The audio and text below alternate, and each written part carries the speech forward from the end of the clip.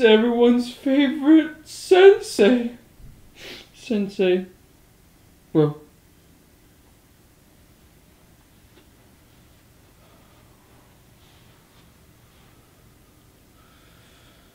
Uh, in regards to uh, last week's episode, uh, my uh, supervisors called me in for a meeting.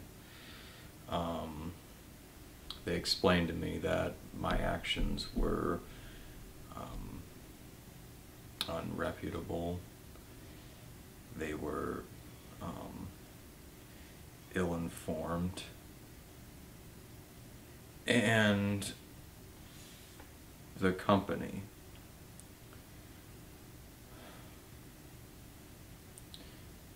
sometimes what happens is uh,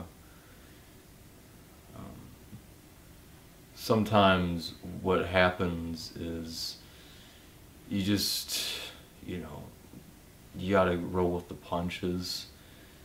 Um, when I was getting my black belt uh, unfortunately I was uh, I was taught a lesson that I ended up forgetting last week's episode.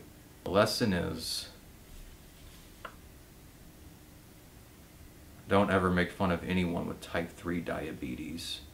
In addition to the supervisors that had called me into the meeting, uh, some representatives from the American Heart Association also had an extensive conversation with me about uh, my insensitive portrayal of uh, people with uh, such a condition they found that um, my outburst was uh, ill-informed.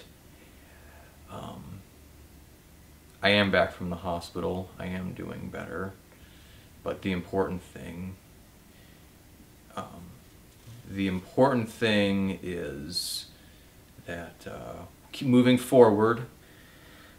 I have independently and wholeheartedly uh, made the decision to just start paying more attention to gay people.